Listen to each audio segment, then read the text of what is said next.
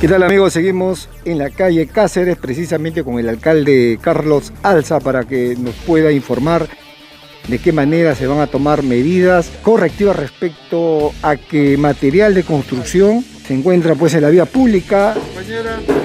Eh, algunos propietarios de algunas viviendas lo tienen ya semanas y no retiran pues como es el excedente de material de construcción. Alcalde, ¿de qué manera se va a corregir?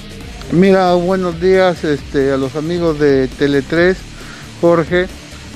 Este, con este programa Mi Vivienda, Techo Propio, que está en pleno vigencia, hay muchos ciudadanos chocopanos que han sido beneficiados, ¿no?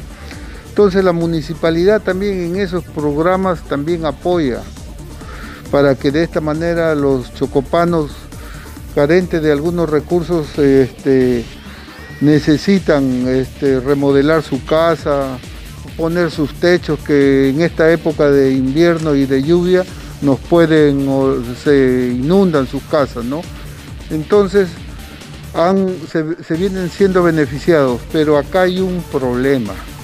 El problema es con los contratistas, con los dueños de, con los dueños de las, de las casas, en la que muchas veces inician su construcción, lógicamente que piden sus permisos, pero se quedan mucho tiempo los materiales de construcción o los desmontes en la vía pública, lo que impide el paso. En este caso, en el día de hoy, yo he recibido ¿no? la, llamada de, los mismos trabajadores de, de recojo de residuos sólidos, en la cual nos piden que por decir en esta calle Cáceres no ha podido ingresar la, la, este, la compactadora y así quedarse varias casas sin haber recogido los residuos. alcalde la libre transitabilidad peatonal? Son dos cosas, la libre transitabilidad peatonal, vehicular o también los carros que entran como en el caso de la compactadora para hacer el recojo de residuos sólidos.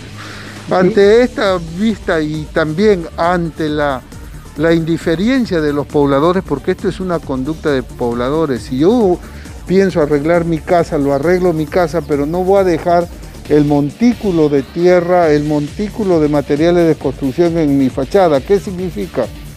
¿Qué significa eso? Que me importó mi casa, pero no me importó la ciudad.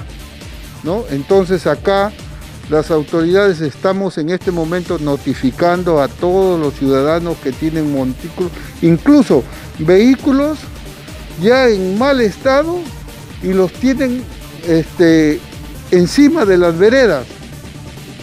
Cuando viene una persona, hoy día me han dado las quejas, por ejemplo, venía una persona en su silla de rueda, un discapacitado, y no puede pasar porque está lleno de camiones de caña, de furgonetas y todas esas cosas, ¿no?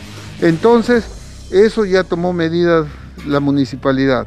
Se ha aprobado una ordenanza, se está, se está, este, se está aprobando el RAS, que es el documento de sanciones, se está organizando la cobranza coactiva, de tal manera que si no lo hacen ellos, lo hará la municipalidad, pasará a sus arbitrios o de lo contrario irá, al a la cobranza coactiva y se embargará lo que tiene que embargarse. Definitivamente, alcalde, usted hacía referencia sobre el material de construcción y excedente pues, de construcciones de algunas viviendas. Vemos también que cerca de la vivienda del regidor Ramiro Gavía, ahí eh, se encuentran los desmontes, ya lleva tres semanas y también es el malestar de los vecinos. Por eso, justo, estamos hablando en términos generales, no puedo yo ir individualizando este, familia por familia, ¿no? Tengo que hablar como autoridad en términos de toda la problemática de la ciudad. Lógicamente que ahí también hay un, lugar, entonces, donde hay desmonte, también se tiene que notificar al responsable de ese desmonte. Muy bien, alcalde, se estaría dando cumplimiento ya a la ordenanza que prohíbe pues estar mucho tiempo estos excedentes de materiales de construcción? Eh, lógicamente, yo creo que de aquí a unos 15 días comenzamos, estamos notificando en este momento, o sea, que está corriendo el proceso, ¿no? Entonces, pero de aquí a 15 días comenzaremos a levantar o las familias de lo contrario comenzarán a limpiar, dejar limpio todo.